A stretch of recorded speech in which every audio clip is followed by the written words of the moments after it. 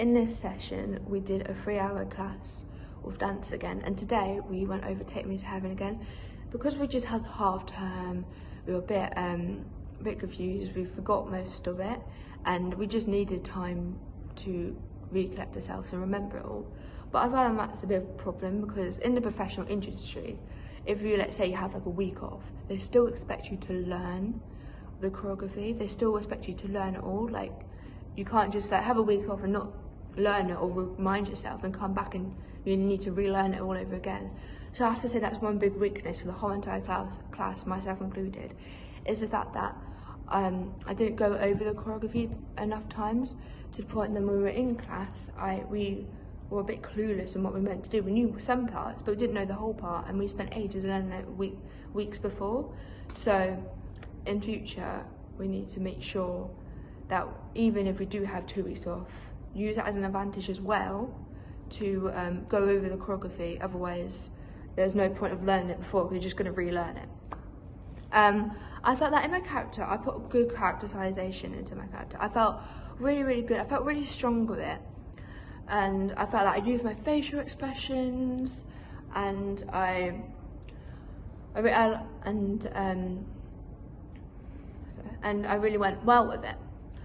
Um, there were some parts where I did rely on others to guide me with the show, with the with the dance. Like, let's say I forgot a part, you could tell that I was looking at someone else, like asking like for guidance, trying to look at them, and that's a big, huge weakness because because by doing that, it looks at it looks from the audience point of view that I know what the choreography is, and it's just going to look really bad and not professional at all. So I really need to learn all of it. Like I do know some parts of it, but I need to make sure I spend most of my time learning all of it. So a way I'm going to prove this for next time is when I go home, I literally learn the dance again, make sure I know it all, and then each day just do the dance.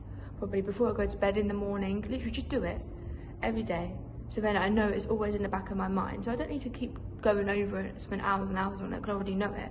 But if I just do it every day, like only takes five minutes every day, before or after college, and then so I know it's in the back of my mind, like with all the dances dances from Sister Act, I feel like that will help me a lot and that I have improved more. And then I'll know the choreography more and I won't rely on others.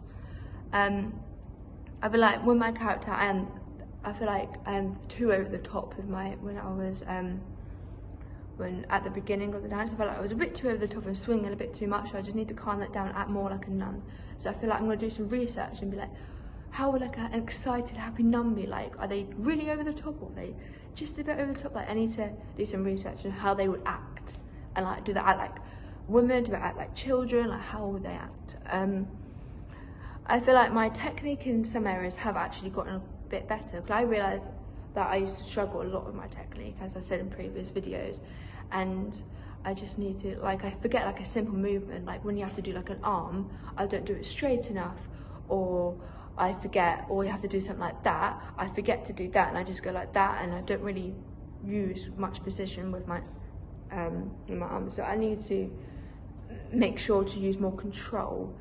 Um but I felt that and some part especially take me to heaven maybe towards the end I know know quite well and I know the technique quite well so I found that helped quite good and that's really good and I need to make sure to keep improving my technique every single day and to make it better because that's one thing I know that I struggle with a lot. Um,